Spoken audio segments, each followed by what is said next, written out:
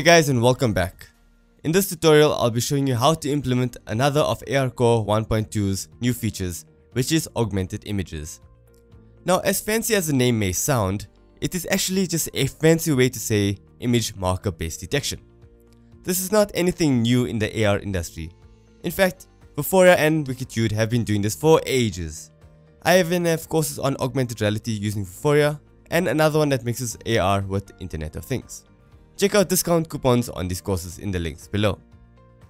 To compare between ARCore and Vuforia, which I have used extensively, I can say in terms of detection, ARCore seems a bit slow.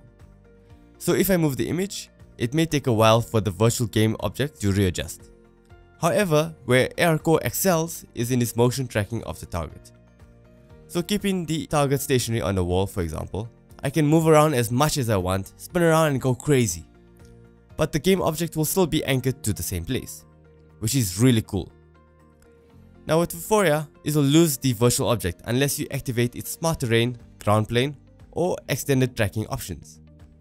So essentially, Vuforia constantly looks for the image marker also known as tracking by detection, whereas ARCore detects the object once, creates an anchor in 3D space, and uses motion tracking to fix and maintain game objects in its designated place.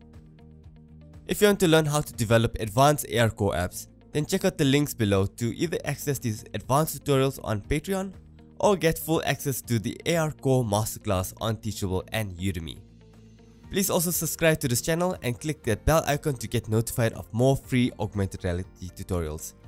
And lastly, check out all these other cool Udemy AR courses. Discount coupons are all in the links below.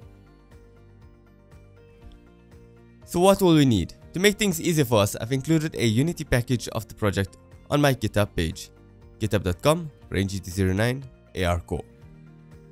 You can go to l underscore augmented images and clone and download this to your desktop. We'll also need ARCore 1.2 Unity package. And also have any video handy as we'll use it for our demo. Okay, so getting started. So setting up augmented images is very easy. So let's get into it. First off, let's start off by creating a new project. Let's call it augmented images. Create project. Let's go ahead and import ARCore 1.2 or even 1.2.1 as they're both identical. Click import. Okay, go to Google ARCore, examples, augmented images, scenes, and double click on our scene. And this will launch our example scene. Now let's get familiar with our hierarchy. We have the usual directional light, ARCore device with first person camera, our example controller, along with our canvas and event system. So looking particularly at our example controller, game object which we have a script called augmented image example and it has two fields. One is our visualizer prefab and the other is the fit to scan overlay UI which is just a directive for us to place our camera within the bounds of the image that we want to detect. Zoning in on our augmented image visualizer, we can see that it contains a script which takes in four prefabs so these prefabs are just framed corners and when an image is detected, it will place these corners on top of your image.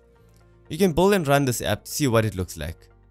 But let's tweak this app so that it can display video instead of frame corners. Now make sure you import the other Unity assets from the GitHub repository. Video augmented image.unity package. Click import as well as the video file that you want to display in the image. I'm going to import the promo lecture to this course and drag it into Unity under 3D assets. So what you've just imported is a simple plane prefab that has a video player component over here and it also has been resized to fit the image. Now where it says missing video clip, I want you to click the circle over here and then select the video that you've just imported. Now under example controller, Let's replace this with our new prefab. So go to 3D assets and then dragging this one over here. Right over there. Okay, so now we should be ready to build our app. Now before we do, make sure you've printed out one of the target images. You'll find them here under Assets, Google AR Core, Augmented Images, Images, and you'll find them right over here. You can print out just one of these. You can also import your own images within the database. Now when you import your image, this quality score over here will change. According to the AR Core dev site, if your score is below 75%, the app may struggle to detect your image. So make sure the image contains a handful of features, which basically means images with distinct textures rather than an image that are plain and uniform. Okay, let's save our scene. Building the app. Click File, Build Settings, click Add Open Scenes, delete this one here, change it to Android, build system to internal, play settings, disable multi-threaded rendering, let's change this to AR Core, augmented images. Change the minimum API level to 7, Nougat? And then lastly, activate ARCore supported. I'm sure by now you can do this very easily. With that all done and your phone connected, you can go ahead and click build and run. Save it as augmented images .apk and click save. So what you should see is when you detect your image, your video prefab will automatically play and you'll see video playing on your wall. Quite simple, right? Understanding the code. Okay, let's go to our controller. Go to Augmented Image Visualizer. Click Edit Script. And it should open in Mono Develop or Visual Studio. So the script is just a toned down version of the original Augmented Image Visualizer script. So instead of 4 game objects being used, I just used one and that will display the video prefab. And when the image has been detected or rather tracked, it will set this prefab to active at these coordinates with respect to the image.